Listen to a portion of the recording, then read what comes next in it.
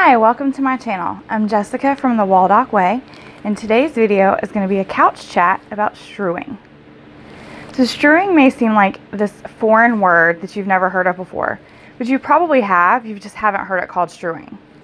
So some people use it as shelf work, where they put things on a shelf for their child to do throughout the week. Some people refer to it as an invitation, where they leave things out maybe at breakfast time or nap time for their child to be invited into to want to play.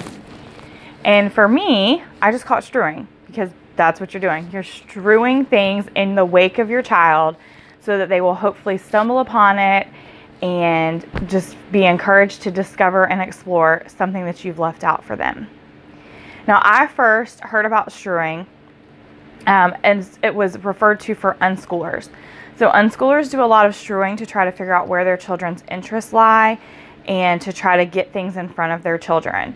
So, because we didn't unschool at the time, we still really don't, we're more eclectic homeschoolers, but because we didn't unschool, I didn't think strewing was for us until I heard a podcast with Colleen Kessler, which I will link her podcast and her blog in the description box down below because it's amazing and you should listen to it. And in a podcast, she talked about how she was a night owl and how she strewed for her children in the morning so that she could get some more rest. And I heard angels singing because I am a night owl, and the morning time was our biggest struggle in our household. So while Emily doesn't sleep late and she doesn't get up super early, but she gets up at a thousand miles an hour. And I get up and need like an hour for you to not speak to me or look at me or like I need to wake up slow. So while we would probably wake up about the same time, we started our mornings very differently. And at the end of my hour of time, I was like, ah, because she had talked to me nonstop and she wouldn't leave me alone. And there was nothing that I could do to just be like, I just need a second. Please just give me a second. And finally, I tried strewing and I can get almost my full hour of wake up in peace now. So since I'm a night owl, it just makes the most sense for me to strew something the night before. So that's what I do. I strew something the night before. I leave it either on our coffee table, our homeschool table, our dining room table, and sometimes in the homeschool room floor, depending on what it is. So I just leave something out that I think will interest her. Sometimes it ties into something that we're learning. So for instance, when we were learning about animals, a lot of the things that I left out were animal based. Um, sometimes it's a math concept I think she might need to review, so I leave out a fun way to do that. Uh, sometimes it is just some STEM, some building, engineering. Uh, it just depends. It depends on what's interesting her at the time. It depends on what we're studying at the time. It depends on what I have on hand. And it also kind of depends on what mood I'm in. So I will leave something out, some, some kind, the night before for her, it has become almost as exciting as like Easter or Christmas morning. So she gets up knowing that something has been left out somewhere in the house and she has to find it. And she's excited to see what it's going to be each day. So it may be something that she's had, but as we all know, kids tend to forget what they have and things get overlooked. So some things are left in my homeschool closet that she doesn't have access to. And other things I just bring out and bring new life to them with either a printable or the way I've set it up or just making it inviting. Sometimes I will leave her a note of a way that I think she might like to do it. But again, with strewing, there's one key concept zero expectations. I'm to say that one more time because I know for us mamas that is a hard one. You cannot have any expectations. You cannot expect that your child is going to do it a certain way. You can't expect that they're going to do it your way. You cannot leave learning objectives tied to strewing and you cannot expect that they're going to do it at all. They may look at it and go, I'm not feeling that today, and that's totally fine. Put it away, bring it out in a couple more days or a couple more weeks. I promise you, they will love it when the time is right.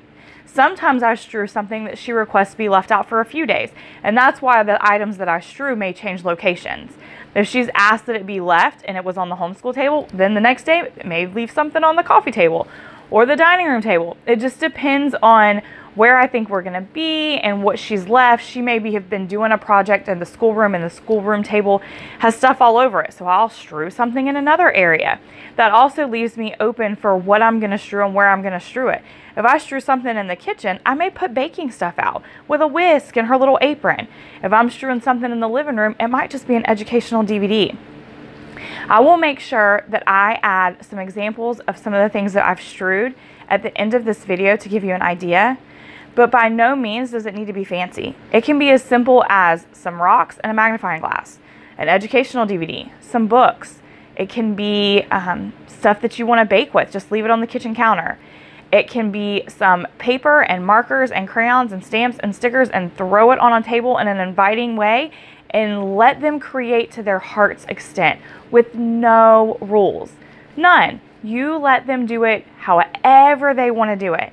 And I promise you, at the end of that time period, you are going to be like, huh, I wouldn't have done it that way. Or you're going to be blown away by what you've learned about your child. I know I have been. There's been things that she's done that she probably would not have done if we hadn't been using strewing because I always am there to tell her how to do it or what to do with it. And there wasn't as much room for free play or free exploration or just discovery in general.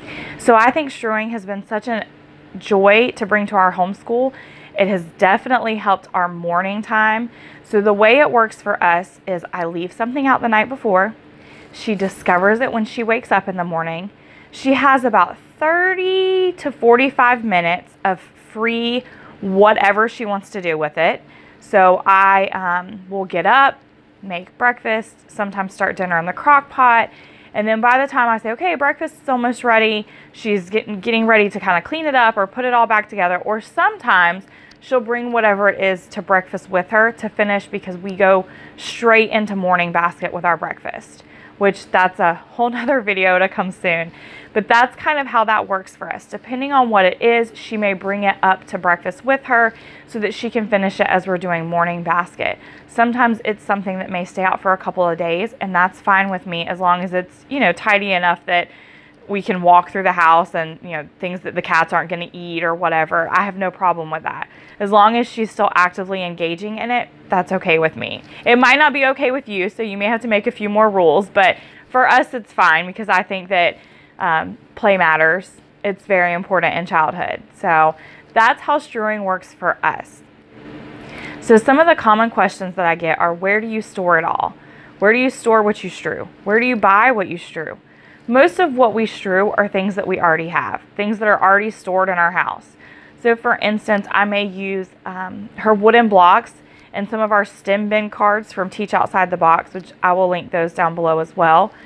I may also just grab some paper and some markers. I may fold the paper in half and I may illustrate a card and leave it out to give her an idea, but that doesn't mean she has to make cards.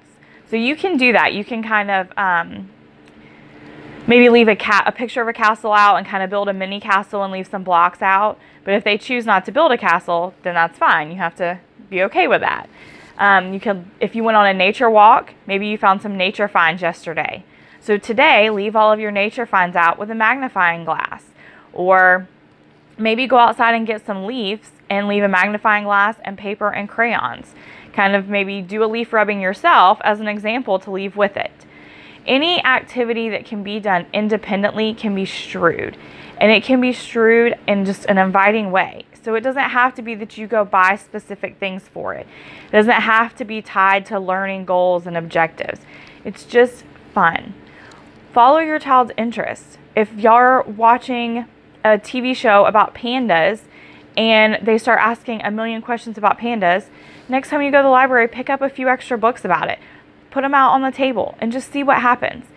Sit back and listen and learn all about your child through the things that you've strewed and the way they interact with them. If you have any more questions about strewing, I would love for you to leave them down below in the comments as I'll be checking them and answering them as much as possible. And again, I highly suggest going over to Colleen Kessler's blog because she has an email series and I believe it's five days of emails that come to you that kind of tell you the ins and outs of strewing. It's how I started and it was a blessing. I will also leave a blog post down below that I did about strewing to give you a few more ideas. Now, if you like this video, don't forget to give it a thumbs up and subscribe to see more like it.